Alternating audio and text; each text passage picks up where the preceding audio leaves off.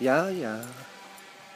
Es ist die geistreiche Atmosphäre der schönen Wiener Stadt, die uns alle so glücklich sein lässt und uns so das Leben lieben lässt in jener Stadt, die, wie sie eben einst von dem Herrn, wo war sie damals, wo er war, Laun, unser geliebtes Wien, genannt wurde. Im Rahmen dieser sehr, sehr interessanten Auseinandersetzung mit von Vinzenz Lichtenstein, Gott habe ihn selig, einmal als Homosexuellen bezeichnet, na Homosexuelle bezeichneten Personen hat er auch seine Hasenscharte gewissermaßen als ein Geschenk Gottes oder vielleicht auch eine Prüfung, ich kann mich nicht mehr genau daran erinnern, äh, irgendwie genannt und klassifiziert.